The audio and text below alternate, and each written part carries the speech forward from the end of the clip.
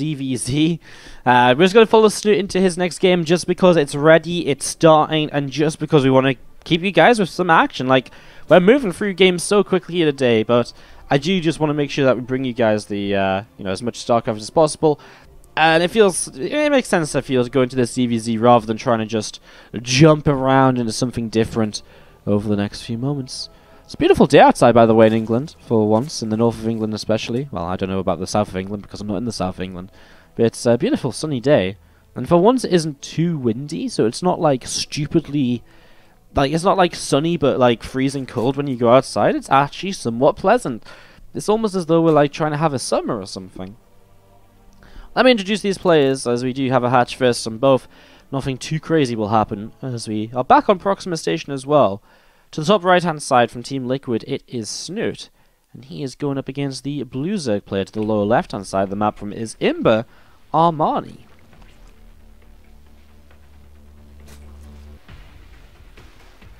So, we'd just, uh, again, like to say hello to you all, and uh, of course, thank you all for joining us. If this is maybe your first time on the stream, then, well, do let us know. Always excited to see whenever there's uh, new people tuning in for the first time ever.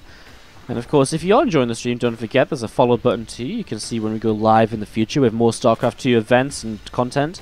We're streaming live every single day here, pretty much uh, until me. You know, maybe I need a break one day now and then, but we try and stream live every single day. And so far this month, it's going uh, pretty okay. We have been live every single day of May so far. Were we live at the end of April too? Perhaps. I think we might have been. Um, I think we might have been live at the end of it, but We've been live for a lot of days in a row anyways, is what I'm trying to say. So lots of StarCraft content coming your way on this uh, channel, and um, yeah, just uh, thank you very much for joining me. Of course, if you do really enjoy the content and want to support, then some great ways to do so are subscribing. We're currently 11 subscriber points, uh, or subs, away from the new Wardi, uh, Wardi Thumper mode, so that's coming soon if we can build up a few more subs. Obviously, outside of that, you can donate directly if you prefer. You can cheer in the chat, which gets yourself a bit badge. We do do regular replay packs, and actually we'll be sending out a replay pack in the next couple of days, including the replays from today's matches, as well as replays from the other events we've cast so far throughout May. And outside of all of that, you can uh, also get involved in our sub-tournaments and other bits and pieces too. So uh, if you're interested in supporting, subscribing a great way to do so, but again, donations and cheers available as well if you would like to uh, if you'd like to support in other means. What's up, Vader Angel, by the way? How you doing, man? Sorry, couldn't say hi to you in the last game. So much going on. So much happening throughout the early stages. Um, it was an interesting ZVZ, the last one. Both games were very, very interesting, so... What's up? I'll say hi to you now just before we kick into Ling Speed here from Armani. Snute is once again open, uh, opening Hatchpool Hatch here on Proxima Station. It's kind of funny because Hatchpool Hatch is in a lot of ways very safe um, against a lot of um, a lot of different builds just because of the fact that you actually have the extra hatchery up in the back, which actually helps a lot with production early to sort of keep you safe against uh, you know earlier pools. Obviously, you have to micro well, etc., but it's actually surprising how well Hatchpool Hatch can do against early aggression. Obviously, in this scenario, I'm not seeing any early aggression at all, and I'm just going to be seeing actually a fast lair from Armani, which could be seen as early aggression. He's on four gases, so looking towards Aspire as this finishes up. Just going to rush up into those Mutalisks and play that from the get-go. So Spire does drop on down here. Then we saw Impact obviously playing with the Spire as well, was done very differently though. Going up into the free bases and then playing some, you know, playing the Roach upgrade into the Spire. Very, very different to uh, this opening that we're seeing right now if the Spire just starting up right away.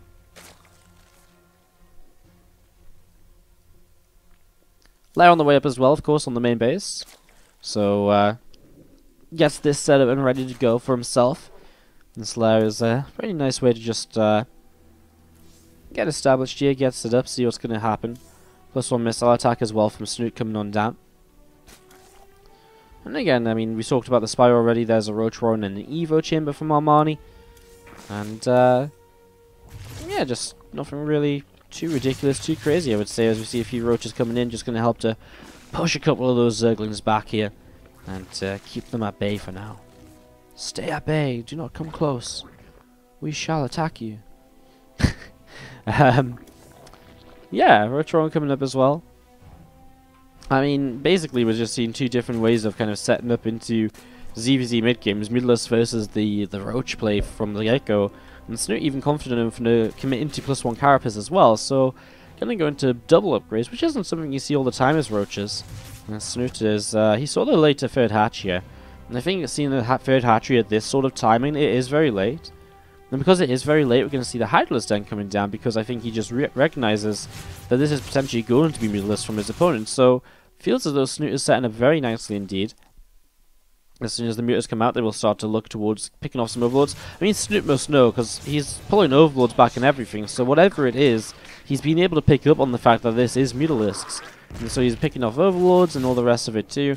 There's a queen to the side here, just pushing that overseer all the way over to the right. Roaches and Queen will pull away from the front, and Snute will start to build up some Spore Crawlers. I mean, he actually already had them up in the main and natural coming up, so he's uh, he's he's again looking to be very well defended. Seven Hydras on the way also. Yeah, actually, Snute's going to be in such a great position against this. Like, Armani will do really very little with these Mutas. Like, he'll pick off a couple of drones right now in this mineral line. But past these couple of drones, that's basically all he's going to get done. As we uh, see the Mutas going to try and uh, fly in and pick off a couple of uh, drones now.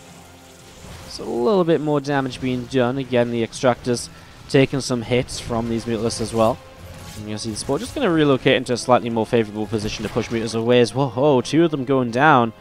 Well, with Hydra's kind of in play as well already from Snute, he's just going to keep moving across the map. And you can see Armani trying to go into a Lurker Den. This is obviously a very kind of common thing to try and do in uh, Korea at the moment, like uh, Mutalisks into Lurkers. But, you know, it's just not working out because Snute realizes he's going to attack, and one of the things he just can't afford to have happen here as Armani is to be attacked. Snute has 1-1 upgrades against 0-0. I mean, the Mutas will turn around and come back home. The Hydras will start talking them down. Is there enough Hydras? They're actually still fighting against Roaches. This is maybe not going as neatly for Snute as, uh, as I thought it would.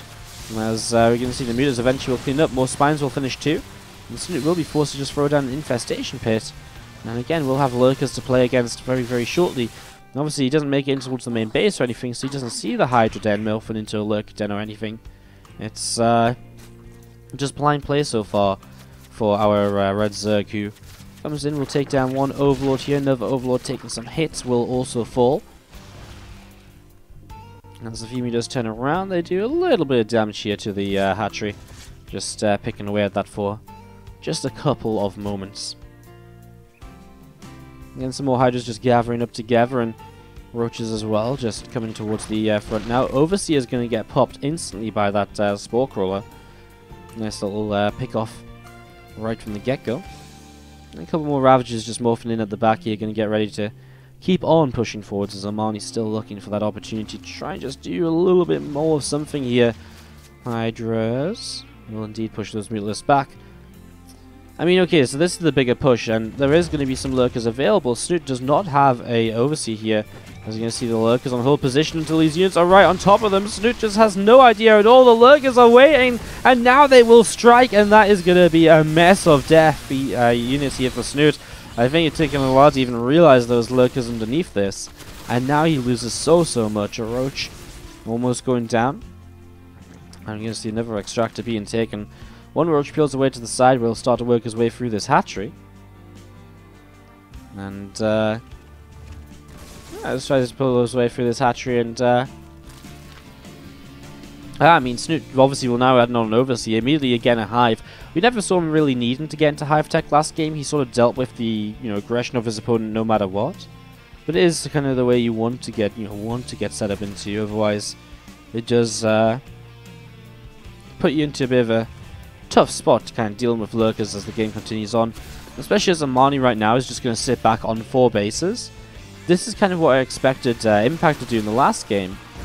Um, and Armani's doing it right now, but again, I mean, eventually Vipers come up and that will slowly allow Snute to trade with this. And we'll see how it goes uh, at that point. Snute could pull around, work his way through those rocks, open up the attack path in towards this fourth. Problem is, I mean, it's still a pretty quick rotation for, you know, Armani just pull his uh, you know pull his uh, lurkers over here and position them anyways. As uh oh, Snute is he getting uh, stuck in a corner? He is a little bit. He's a little bit closer to those hide uh, lurkers than I think he'd like to be. And his lurkers can keep on pushing forwards. Hive only just now about to finish. Snute with only a couple of Ravagers in play, doesn't have a lot of Corrosive Biles or anything he can utilize, actually loses one of the Ravagers too. Two Vipers on the way up. Snute's with a lot of minerals at the moment, but again, maybe not as many, um, much gas as he would like to utilize here. Throws out another Bile. Still trying to dodge away from those Lurkers. And again, I mean, and the problem with Snute, I guess, in a way also, is the fact that the initial Vipers, two of them are not instantly going to kill all of these Lurkers. No, I mean, two of them will abduct one, abduct the other. But we'll not just straight up kill them. Against these Infestors here, we'll have to be careful as the Lurkers keep on advancing forward through the center. And Snute, obviously feeling a bit more confident now, hits a nice fungal growth, only one bile though, again, missing out on gas, and so his Ravager count really is struggling. Vipers trying to get what they can. I mean, I think he might just go for one larger fight. And just go for the, um, with this kind of larger fight, just go for the kind of blinding clouds on the lurkers rather than, you know, I think he just has to, rather than like abducts forwards, which is what you might oftentimes try to see. Does he still not have an overseer with this? Oh man. Maybe he just lost it a few moments ago. Now though he's in trouble. These units in the back of the mineral line are getting uh, picked off and Snute will lose the gold base. Playing patiently, still getting some more energy on the Vipers.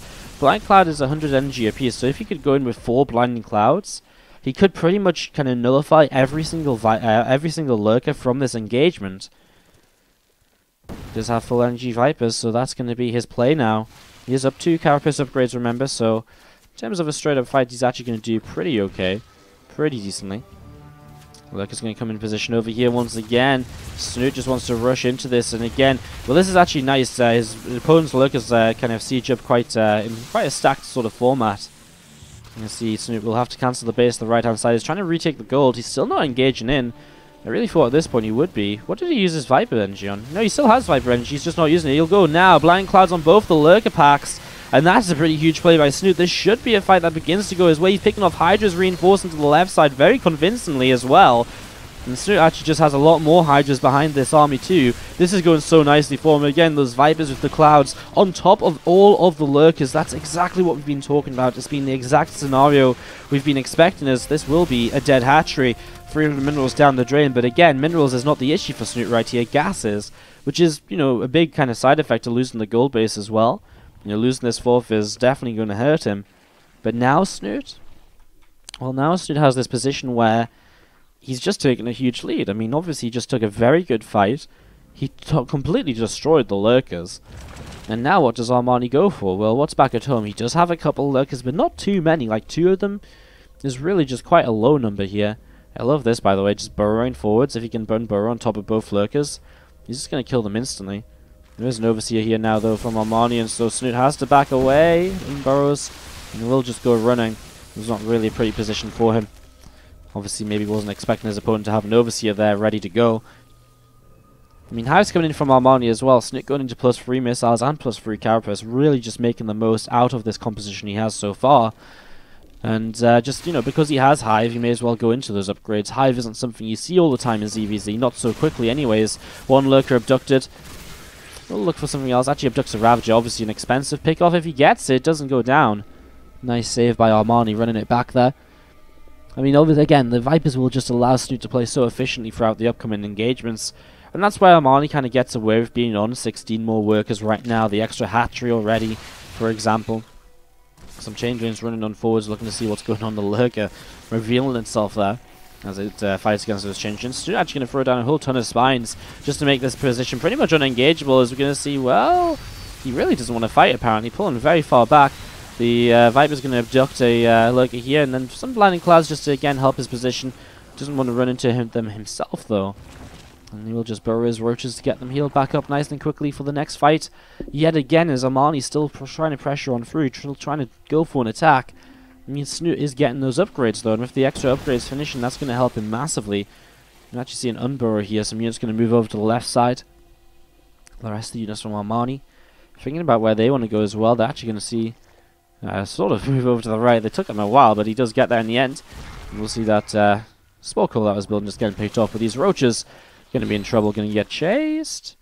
Oh, he's actually going to pick up some more drones with it, so they don't go down as quickly as I thought they would. But again, Armani finds himself kind of, you know, running into, well, not quite a brick wall. Don't know quite what spine crawlers are made of. Doesn't look like bricks, but it is a wall of spine crawlers that is just not going to allow Armani to realistically engage in any of these positions. Viper here just want to be careful. There's Hydras in this army, so the last thing he wants is to lose a uh, Viper for no reason. But Snute's going to create a surround out of this engagement. Still very cautious with the Vipers, like not using Blinding Clouds or anything here. Um, maybe just looks to kind of abduct some of the Ravagers forwards. There we go, Ravager's going to get abducted in. I mean, this army, though, is going to be completely trapped. I mean, where's he going to go? He's going to basically run up towards the upper right-hand side. The idea for Armani right now is that if he can just sort of pull Snute out of position, maybe he can hit at the front. Armani, his entire bank has just been spent, and so that you know, extra economy lead he's had throughout the game is uh, now going to start disappearing just because Snute's trading well enough. This was actually not enough units from Snute over here, and he will uh, lose this fight, unfortunately for him. A little bit of a weird one to lose out on, as Roaches will continue their way through these rocks. So rocks being dropped right now. And we're also to be seeing the... Uh, again, there's just sort of pathway being opened up. Roaches are Snute going to move on forwards as well. Look to see what else they might be able to get up to here. A couple of changes of Armani actually blocking Snute's reinforcements. Man, this army in the back is doing way more than it ever should do. Like, there, there is no reason at all that Armani should have initially gotten these units to stay alive in the first place. Snute just really kind of, uh, not really kind of, just kind of missing the kind of, uh, kind of the numbers game, I guess. Roaches do move on through, and those roaches will get picked off. And still Snute playing so passively. Here come the uh, lurkers once more. You can see spines poking away at them initially, and actually getting quite a lot of damage done to these initial lurkers. Uh, very nearly killing one or two of them. Again, it's going to be the Blinding Clouds to try and save the day. One, two, to the south side. There's lurkers as well, though. Lurkers already just trying to pull backwards. There's more blind Clouds available now, abducting forwards as well. Corrosive Biles picks off a couple. Now Snute will have to back away, probably get energy back on his Vipers before he goes yet again. But again, Armani just takes another trade, which is not keeping him in this game. Now 6,000 resources lost down. Again, he's been leading the income tab for a good few minutes here. But it's getting to that point where Snute just needs one more fight, and he's going to be in a fantastic position. I mean, the fact that Snute has 3-3 obviously helps as well. I mean, Armani is slowly getting in towards that point. It's the whole reason he built a hive of his own. He hasn't been building that hive for any other reason up until now.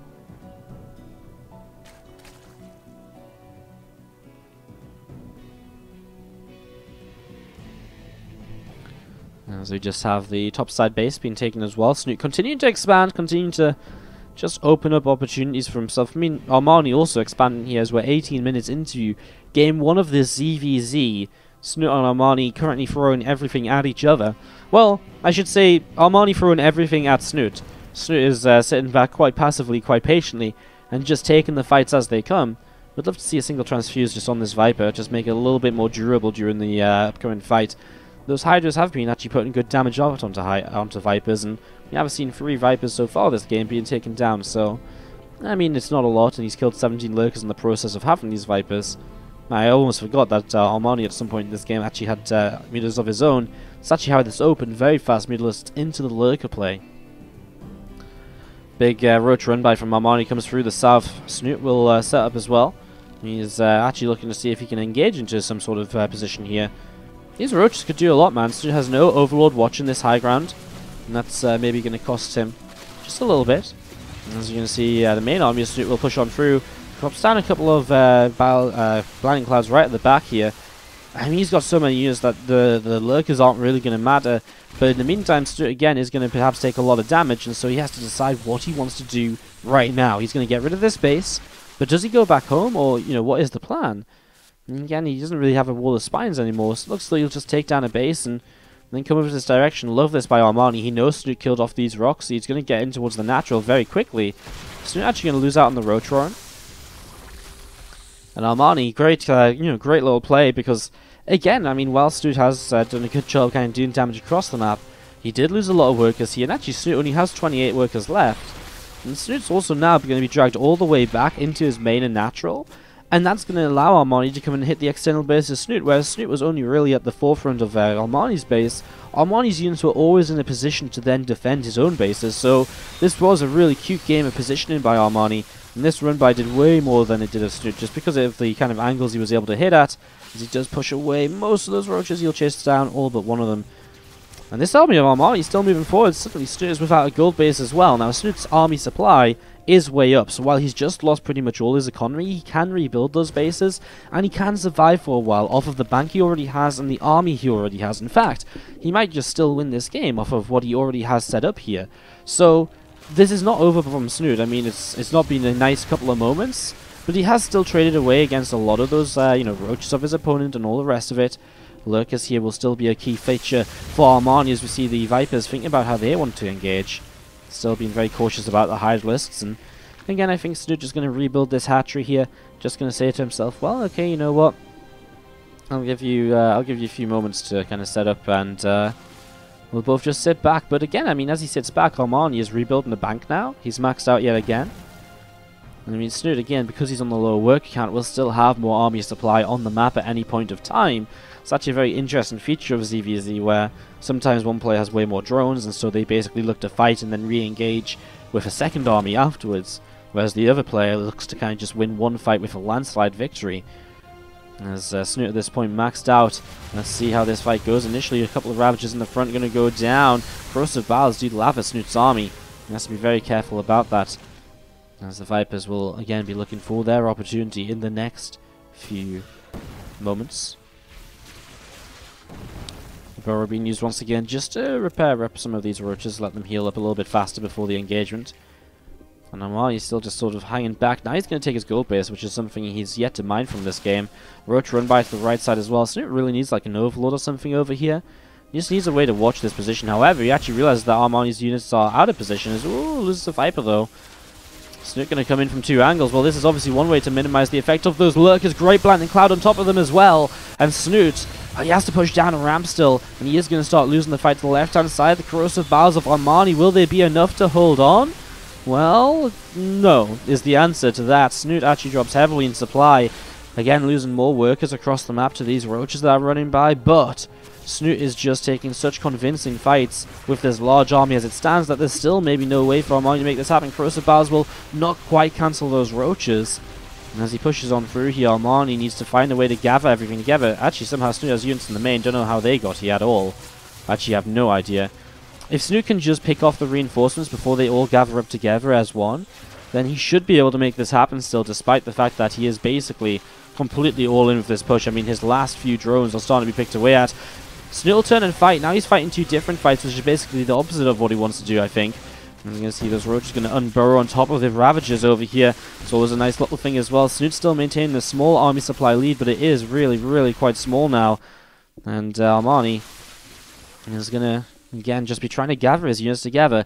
Snute with two drones left on the map. These few roaches have just killed off absolutely everything. How many kills have some of these got? 3, 10, 12, 7, 11. They've really had a great time. But again, the issue is, oh, Corrosive Biles take down three Ravagers. I mean, that's a huge loss from Snute at this stage of the game. The Biles are going to be so important as here we go. Armani will wrap around from the top side as well, and that's going to mean the Ravagers are exposed.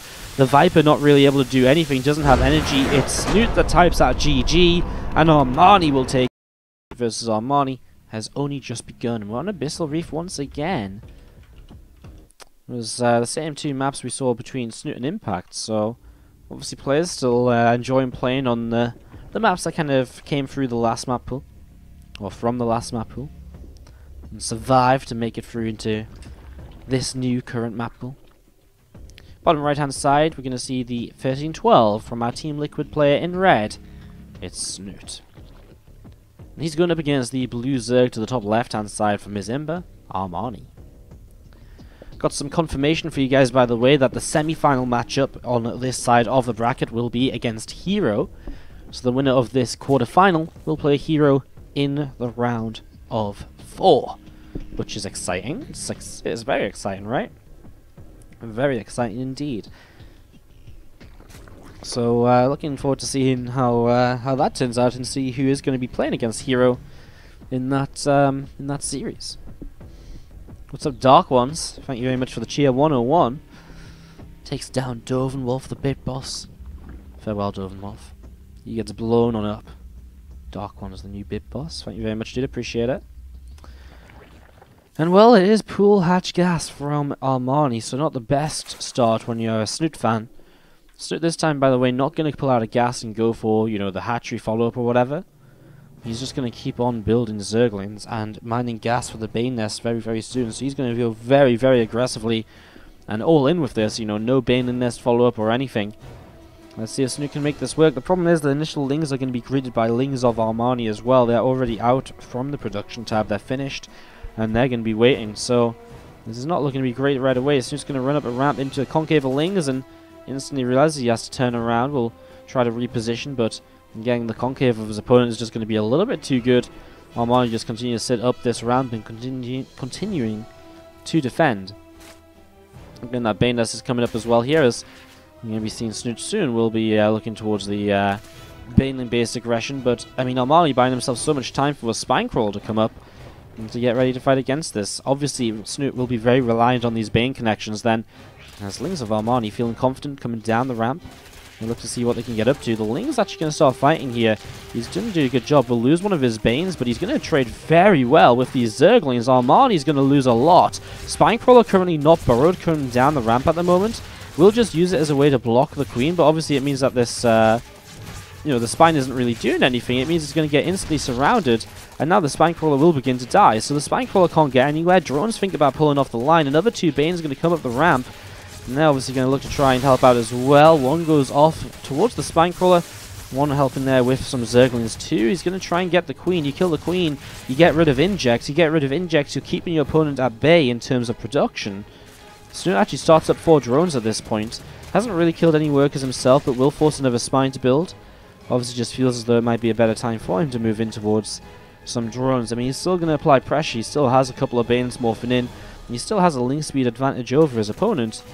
Those two Banes of Armani will be crucial now to uh, make sure he can sort of survive this next wave of attack.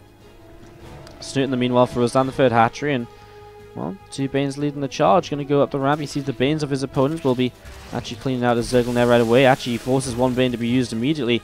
Really, really nice. He's going to look to pick off another one.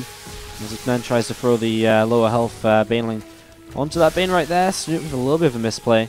Losing a bit more and still is looking to see what else he can do trading out Ling's Banes. I mean, he's just trading out nice and effectively. What he does do here is he slows down Armani's production and Armani's kind of rate of uh, units, uh, which just allows him to kind of, you know, basically be a bit safer against a counterattack to keep on droning a little bit further. And as Armani makes more Lings, you gotta remember as well, he has not got Zergling speed, and so Snute probably knows this with the amount of Banes that have come in here. He probably knows there's no Ling speed, and so now he's in this bit of a position where, as Armani comes across the map, Snute is actually sat pretty comfortably, pretty safely um, against this. Like, he shouldn't really be too afraid or worried at all. And I was going to see that Baneling drops on down. And these Lings just going to continue to move down in towards the lower right-hand side of the map to uh, try and do a bit more damage. So, one Bane goes down instantly, and just going to be seeing ooh, another Baneling getting taken down also. Some drones being pulled on in, and again, Ling is going to fight against each other, actually picking off that Queen here in the end as the two Banelings continue to move on through, and Snute going to be uh, defending against this. So yeah, he loses a queen, but again, I mean, he's taken himself, in the most part of this game, I think, into a little bit of a, an advantage. It's a little bit back and forth between income right now. Armies are pretty even. Yeah, it's going to be pretty even overall, I guess, between the players. Armani invests uh, some gas in towards a lair. So he's going to throw a lair down here right away get that set up and ready to go. Overlords on the way from both players on either side of the map as well. And Snute just pulls a drone over to the right hand side here where he's going to throw down a hatchery. With a third hatch on the way up, of course, things still continue to look pretty great so far from our uh, Red Zerg player from Liquid Snute.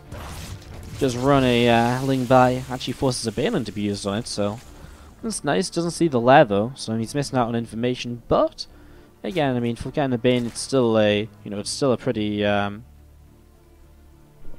reasonably fair trade, I suppose. As I do see the plus one missile attack upgrade going to be uh, thrown down here on the evolution chamber. And again, still just a little bit later in terms of this switch into the mid-game units, uh, aka the lair. I guess the lair comes down later, the rotor on the Evo chamber. But at the same time, he is um, well, at the same time, I mean, he has taken a faster third hatchery. That's always something you've got to consider. And he is in a little bit of a drone lead. So actually, for the most part, here, Snute is still, you know, holding advantages. It's just his uh, fighting army will be a little bit weaker at slight moments. So he'll just want to be a little bit cautious about that here and there. As we're going to be seeing this hatchery. Again, just dropping on down and setting on up. So Creep going to continue uh, pushing out over the left side here. We're going to be joining up very shortly. Some drones are going to start mining away on the third base, and Again, plus one missile attack on the way up from both players. Roach speed is about just over halfway done, and roach speed as well from Snute is just starting. So the question becomes, Armani, who has stopped droning more or less and starting to build roaches, is he really just going to commit to this big one plus one roach attack? Well, if Snoot stops droning now and 55 drones and a good saturation of the third base, you can pretty much already see that Snute is massively starting to fall in favor. You know, you know, income is starting to fall massively in favor of Snooty already. So he's already kind of going in towards this massive income lead. So all he needs to do is work the defender's advantage, which is going to be positioning. You know, he can set up in towards concaves against, you know, convexes, you know, choke points. So he can get into a better fight in that regard. And just because he's got you know, faster reinforcements, the lack of a roach speed won't really uh, affect him here at all, as these roaches do gather on up over to the right-hand side towards the third base. You see a whole bunch of roaches here moving through the center for Armani as well.